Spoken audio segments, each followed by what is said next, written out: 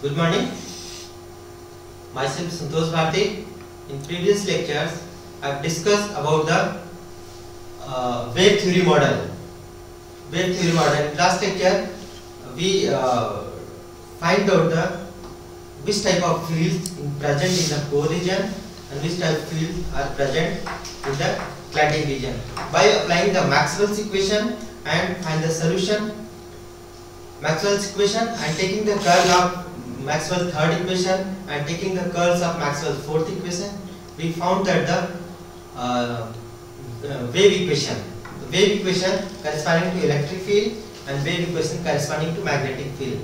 By find the solution of the wave equation of the electric field and wave equation of the magnetic field, we found that the Bessel's equations. Clear? Bessel's equation by assuming the different values of the q complex quantity q if q is real now it gives the Bessel's functions of the general Bessel's function and the Neumann functions when we assume that the q is imaginary then we have the solution of Bessel's function of second kind Bessel's function of first kind and Bessel's function of the uh, second kind. For the field distributions, we have ordinary Bessel's function of the first kind to analyze the field pattern in the core region and the modified Bessel's function of the second kind to analyze the field value in the cladding region. Because in cladding region, fields are decaying natures. This is applicable, this solution is applicable or suitable and in core region the field are non-decaying nature so basically this solution is the suitable for the field analyzed in the so these are the different formulas which I have taken from the electromagnetic theory. So there are six field component in present in the core and six field component are present in the cladding region. So basically electric field in the radial direction r direction er electric field in the phi direction. So these two fields are basically known as the transverse field transverse field why transverse field basically these field er in e phi are perpendicular to the uh, direction of wave propagation clear so these are transverse field and this is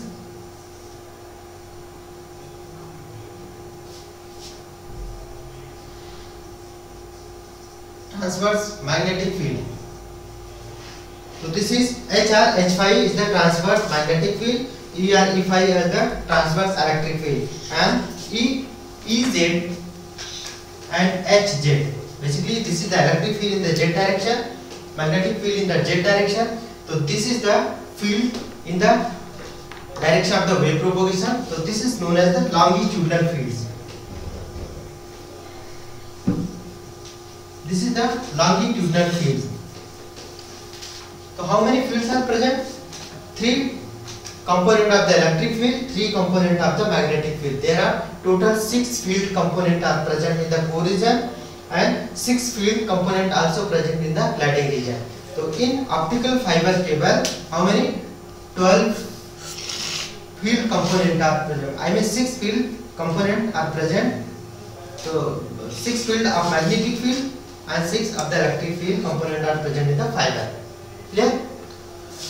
So first of all, we have to calculate basically this longitudinal fields Ez and Hz. Then by substituting this value Ez and Hz in this equation, you can also calculate the transverse field component present in the fiber.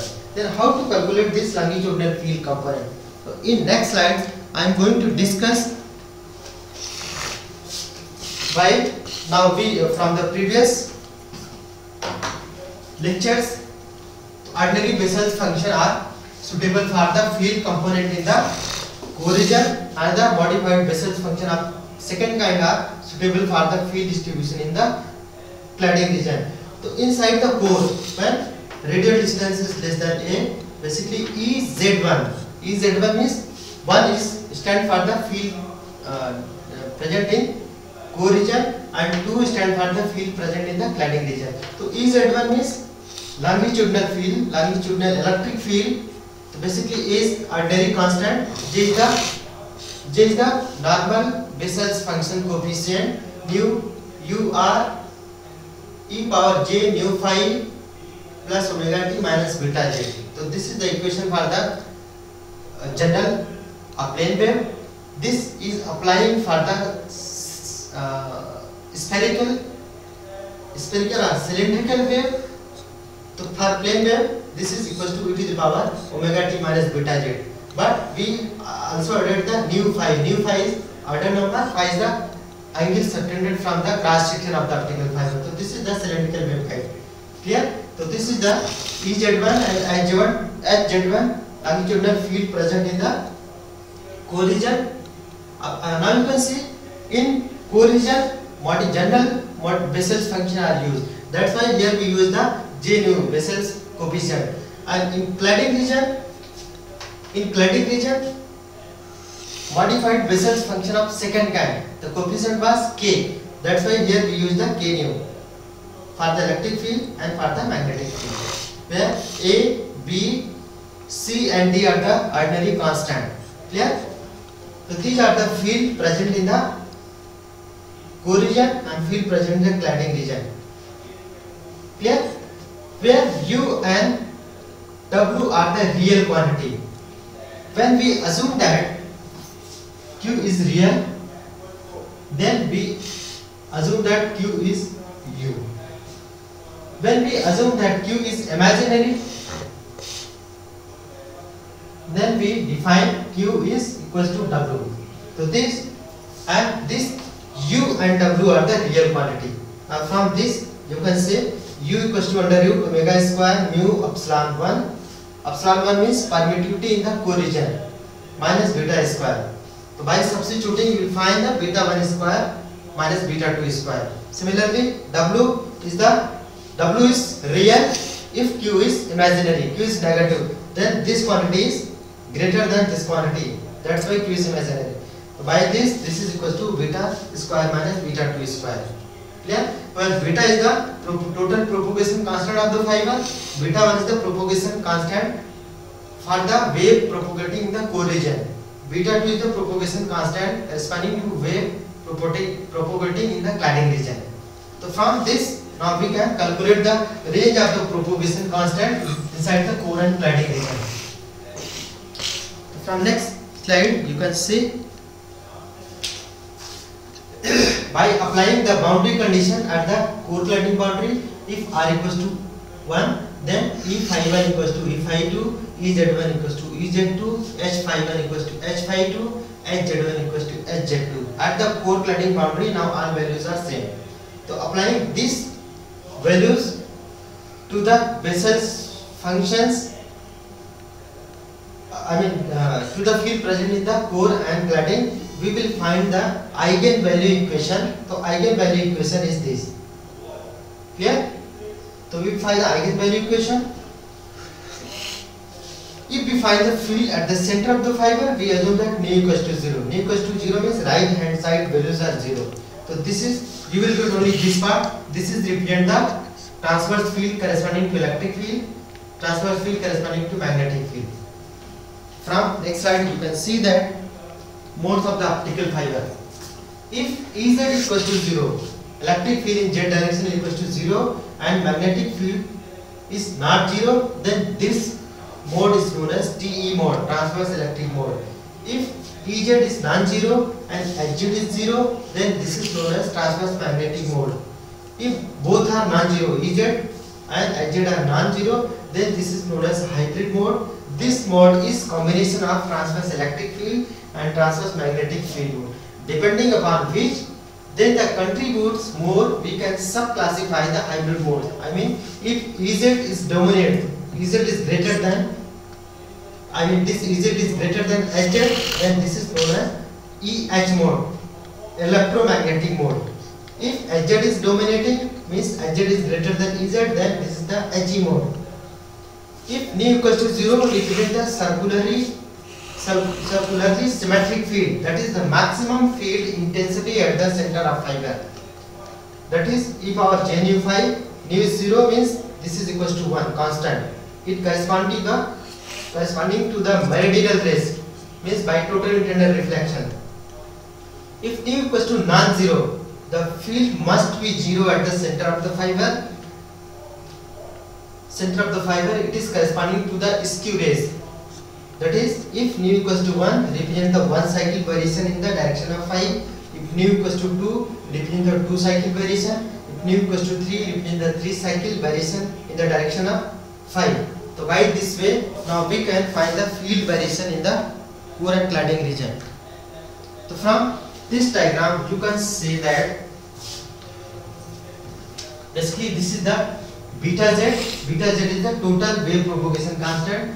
This is beta 2 minus beta 2 to beta 1. This is the range of propagation or the range of propagation inside the core region.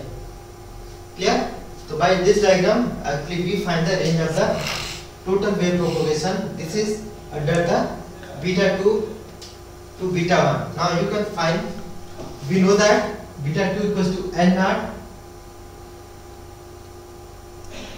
I mean, beta 2 is beta naught into n2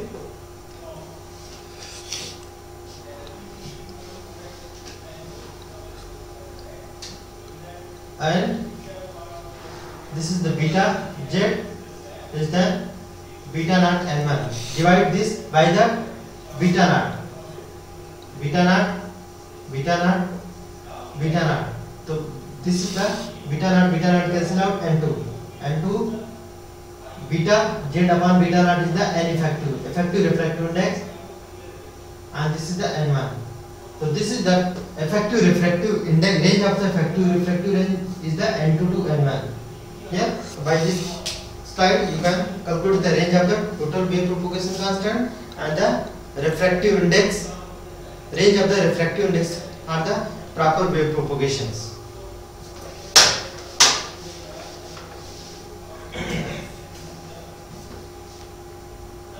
clear so by I'm defining also uh, next parameter that is the normalized propagation constant which is equals to n effective square minus n2 square upon n1 square minus n2 square where n effective is the beta upon beta naught beta naught is the propagation constant for the free space and beta is the propagation constant of the medium the range of the propagation constant is 0 to 1 0 to 1 if n2 is very close to n effective then n effective equals to n2 substitute this value you will get the 0 if n, uh, n effective is very close to n1 we assume that n effective is n1 then it is come to the 0 the range of the normalized propagation constant is 0 to 1 clear then calculate the normalized v number v number is basically this is equals to 2 pi by lambda a into na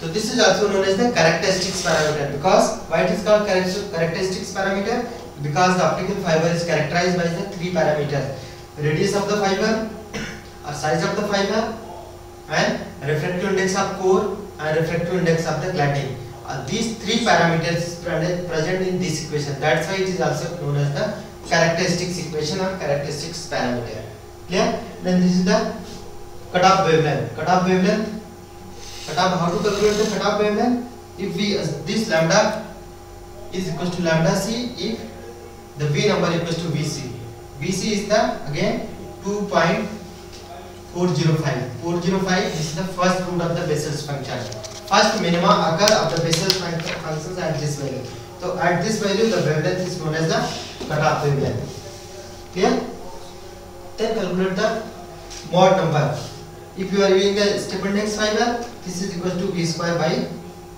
2 if you are using gradient index fiber this is the v square v square by 4 so these are the parameter calculated from the wave equation model.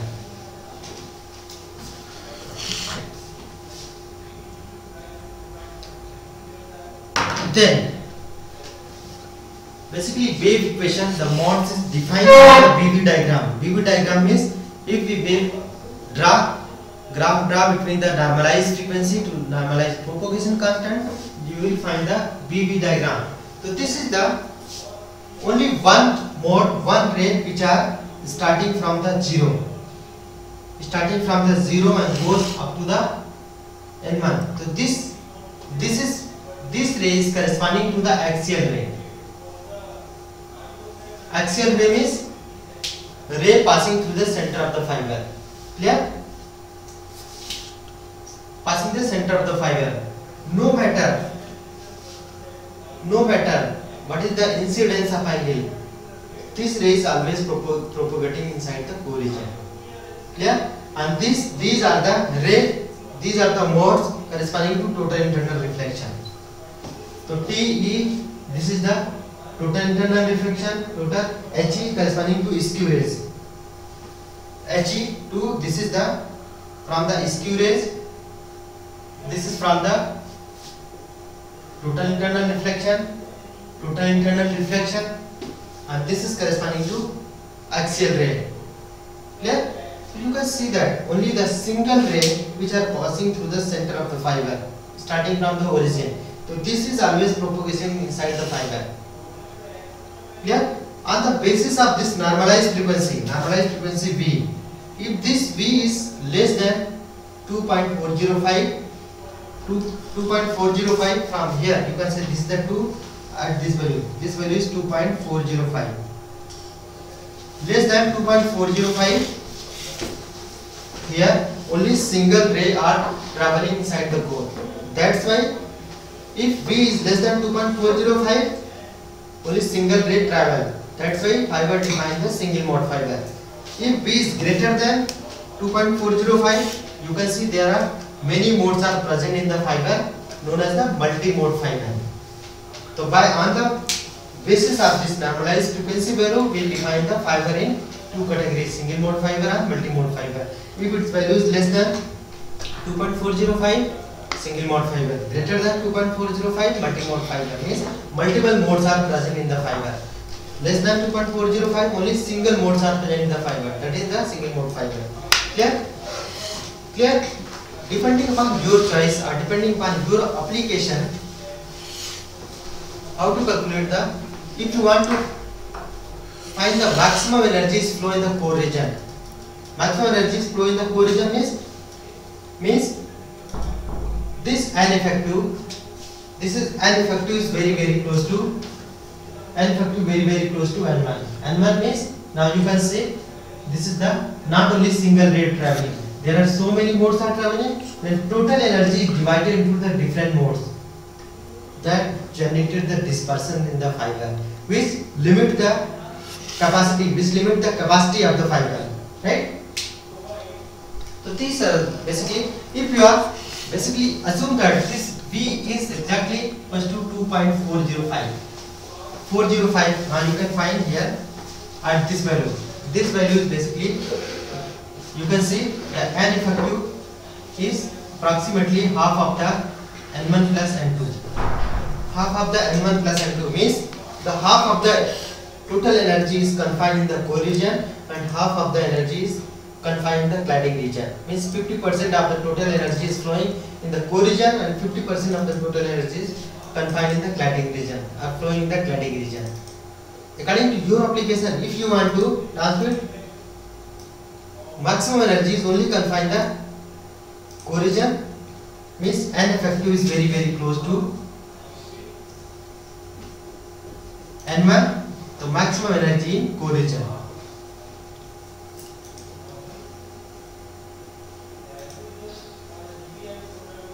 If N effective is very very close to N2, maximum energy in cladding.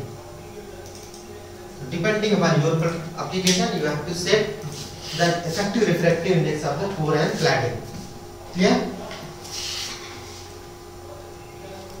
Then how to calculate the magnitude of field present in the optical fiber core and cladding.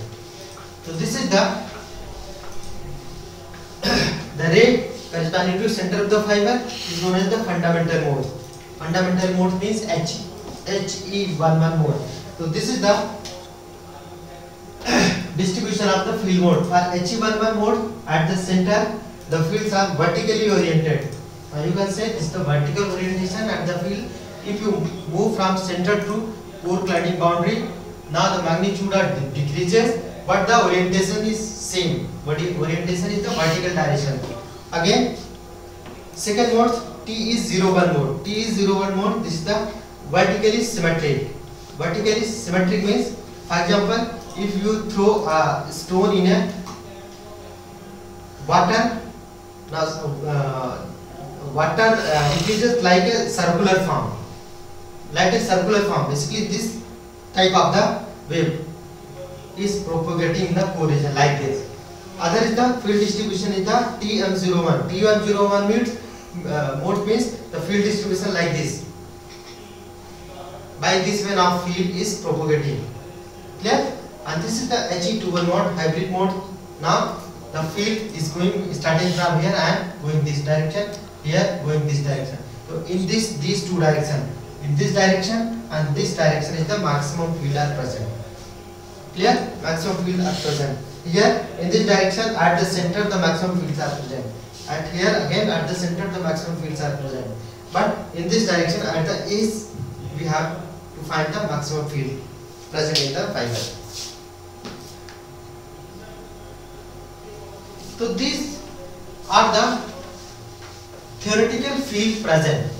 If you apply this, this is not applicable for the practical use because we cannot provide the variable amount of power in the core and cladding region. Then we have to apply the linearly polarized mode to calculate the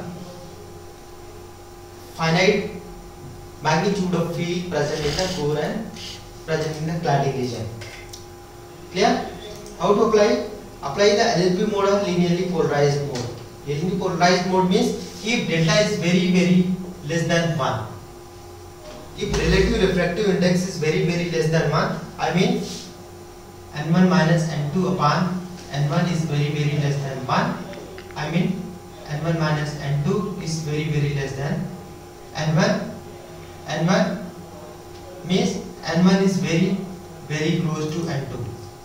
n1 is very very close to n2 means at this condition hz and ez is going to 0 if we assume that this condition this is known as weakly guiding approximation.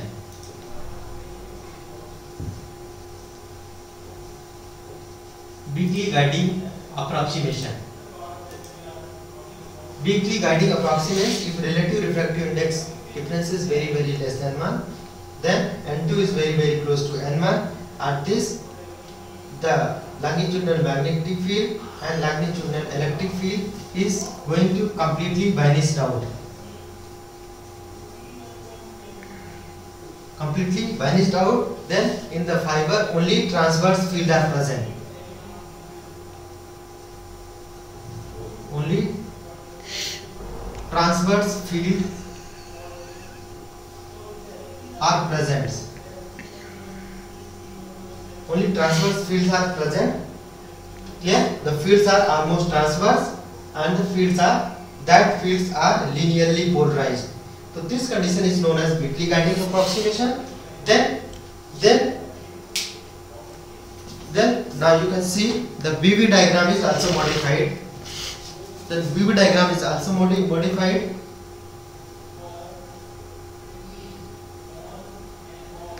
the BV diagram is also modified basically so BV diagram for the LP mode so this is this is a fundamental mode this corresponding to HE11 mode from the axial ray HE11 mode is changing into the LP01 mode then there are three modes were present three modes were present means one is this one is this that is the T01 mode and TM 01 mode and this is the HE21 modes are present. Clear? When we combine, when we assume that this N2 is very very close to N1, now longitudinal fields become 0. Longitudinal fields become 0 means if we combine this TE T01 plus HE21 mode, it gives the LP11 mode. When we combine TM01 to HE21 mode is also give the LP11 mode. So these three modes are combined and give the LP11 mode. Here LP11 mode. Similarly, here the three modes were present. They are combined and give the LP21 mode. Other set of the other clusters of the modes again give the single mode. I give the single mode. Now you can see if N1 is if N2 is very very close to N1. For example, if we assume that N2 is exactly N1, then then the field present there is no any boundary between the core and cladding region. Here, so what field are present at the center? They are uniformly distributed to the entire space. Here we assume that the cladding is shifted at the infinite distance means from center to infinite distance now the fields are uniformly distributed. By applying applying the integration we will find the energy of and the power of the field present in the center. Clear? So these are the modified Bessel's functions right? If we assume that there is three points three points one point is here and other point is somewhere here other point is somewhere here. Suppose this point is A this point is B this point is C clear now we know that how to calculate the phase velocity Vp equals to omega upon omega upon beta and group velocity d omega upon d beta clear now we can write this is the 1 upon d beta by d omega or this is equal to 1 by slope 1 by slope now you can see at this point at point A and point C is the slope is minimum slope is minimum is group velocity is maximum group velocity is maximum at point B slope is slope is maximum so group velocity is minimum clear so on the basis of this group velocity now we can find the magnitude of dispersion magnitude of dispersion present in the magnitude of dispersion present in the fiber clear so basically define the group velocity and the phase velocity from this diagram you can say that how to define the group velocity the group for the plane wave the uh, uh, uh, phase velocity equals to omega upon beta and?